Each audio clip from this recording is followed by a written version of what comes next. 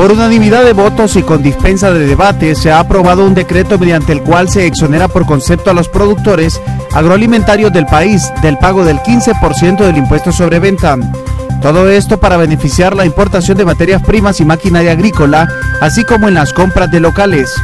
Se reformó el artículo 15 de la Ley del Impuesto sobre Ventas y sus reformas para exonerar el pago del 15%. La iniciativa fue hecha por el Poder Ejecutivo a través de la Secretaría del Consejo de Ministros. Más de 30 años pasaron para que los productores gozaran de la exoneración del impuesto sobre ventas.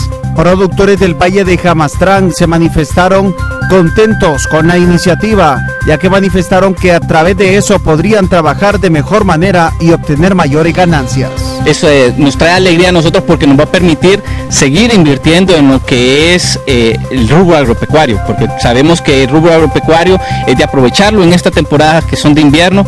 Yo creo que eso va a motivar a muchos agricultores, personas eh, ganaderas, en, el, en, invertir, ¿verdad? Volver a, adquirir equipo, adquirir insumos y, y poder aprovechar estos, estos años de invierno que vienen.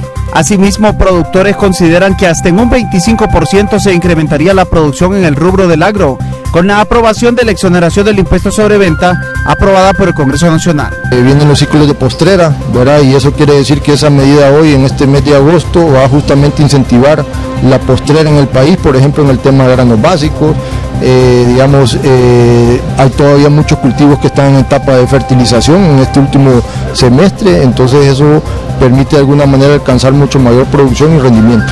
La disminución del impuesto sobre ventas a los materiales y maquinaria agrícola tendrá un buen balance económico en el país, según lo confirmó el presidente de la Asociación de la Defensa de la Canasta Básica. El ministro de Desarrollo Económico Arnaldo Castillo subrayó que con esta iniciativa los precios de la canasta básica bajarán sustancialmente. Sin embargo, la titular del Servicio de Administración de Rentas, Miriam Guzmán, expresó que Honduras dejará de percibir unos 800 millones de lempiras al eliminar este impuesto sobre venta en el sector agrícola.